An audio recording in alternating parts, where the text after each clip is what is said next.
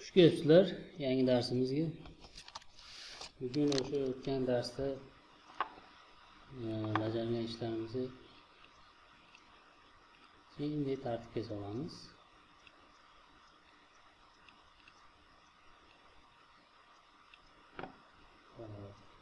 mana biz o'tgan dars mavzusini ochib olaylik uchinchi darsida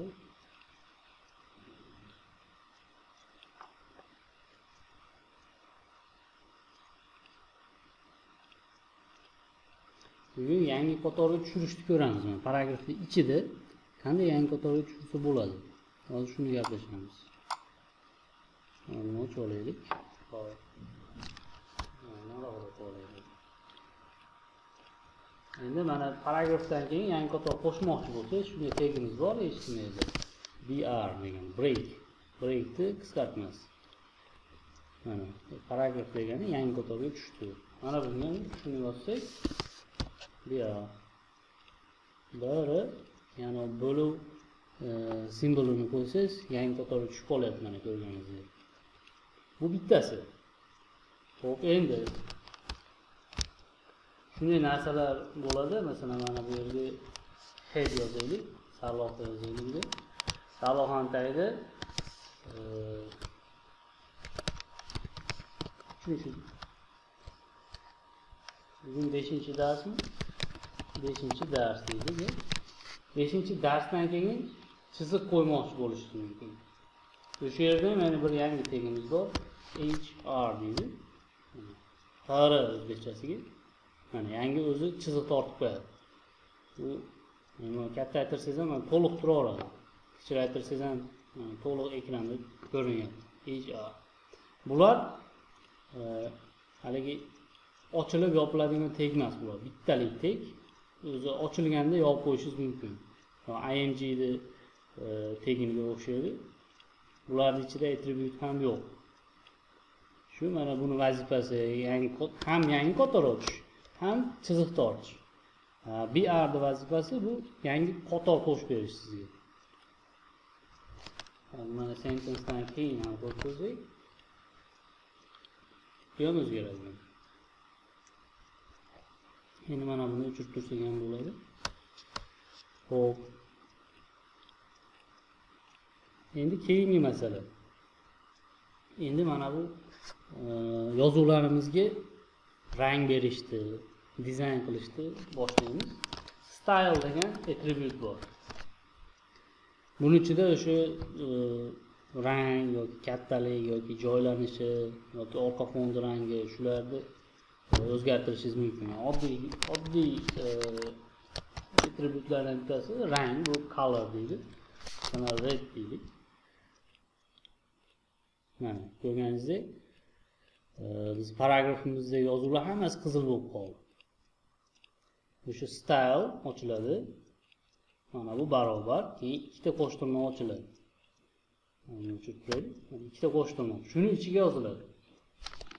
Color. Endi blue deylik ya'ni o'sha blue bo'lib qoladi. Keyin masalan e, mana bu yonboshdan uzoq uzoqlashtirmoqchi bo'lsangiz margin degan komanda bor margin left desak masalan o'n foiz deylik o'n foiz mana qochdi ekranimizni. o'n foiz chap tomondan qochdi. Buni keyinroq batafsil o'tamiz. CSSga kelganimizda css darslarini ichida nimalar borligini ho'p endi mana buni ham sitga qo'shib ko'raylik. Sarlavhamizga head ichiga masalan text align deb ko'raylikchi. Mana ko'rganingizdek sarlavhamiz o'rtaga o'tib qoldi mana.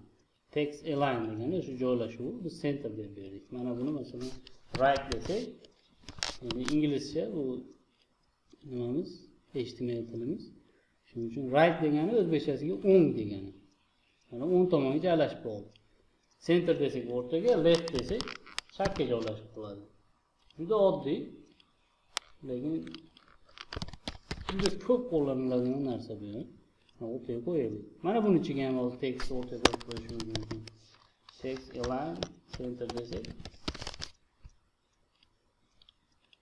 mana hammasi o'rtaga joylashdi ko'rganingizdek endi mana bu keyingi qatorga tushirganlarni qo'ysak ham bo'laveradi buni nimaligini tushunib oldik menimcha Mana.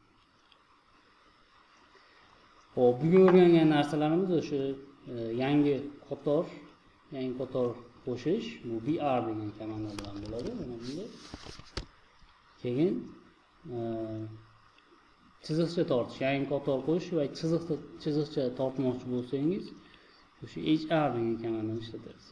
Keyin mana bu style degan attributni o'rgandik bugun, o'sha rang berish, joylashuvni o'zgartirish, orqa fonini o'zgartirish, rangini o'zgartirish yoki Э, shaklini o'zgartirish, katta kichikligini o'zgartirish, hammasi shu yerda berilgan.